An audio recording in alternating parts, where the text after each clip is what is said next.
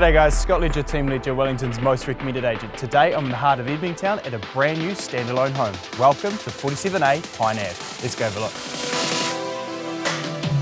The home spreads out over an incredibly well designed 89 square metre more or less floor plan, comprising two bedrooms, both with built in wardrobes, a tiled bathroom with underfloor heating and easy access shower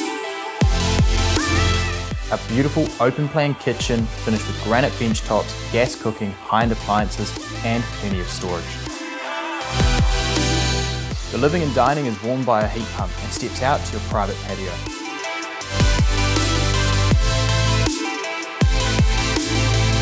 The home is fully insulated, double glazed and comes complete with single garage with internal access.